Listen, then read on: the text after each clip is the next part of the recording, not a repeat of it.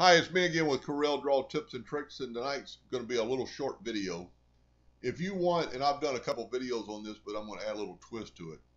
If you wanted another circle inside this circle, all you have to do is hit Control D, hold down your Shift key, and move it in. Now, this circle is in the exact center of your other circle because you're doing the Shift key it'll come in and out. But you can do that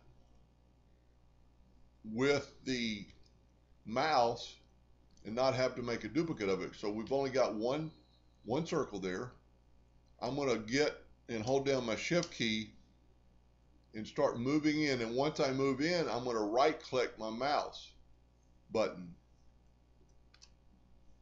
and it made a duplicate at the same time anytime you move something and then right click, you make a copy of it. So you can do this when you're using the circle as you're moving. Hold down your shift button and then right click and you made a duplicate. I don't know if it really saves any time, but it does on something like this. Instead of control D, you can just be moving it and click click your mouse and when you click it again, it takes the other copy away. So we've got two duplicates. I'm going to click it and get another one, but I'm going to re-click and it takes that copy away. So you don't want to double click that mouse, right mouse button.